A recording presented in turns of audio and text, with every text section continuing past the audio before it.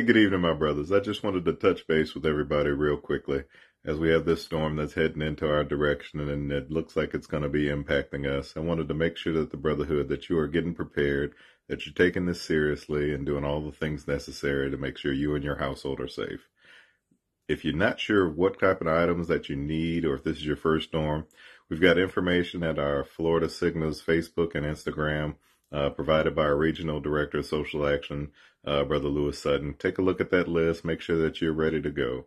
And brothers, if there's a need that comes up after this storm, I want you all to be aware that the state, the region, and international headquarters, we all are standing by at the ready with the resources we have available to assist you.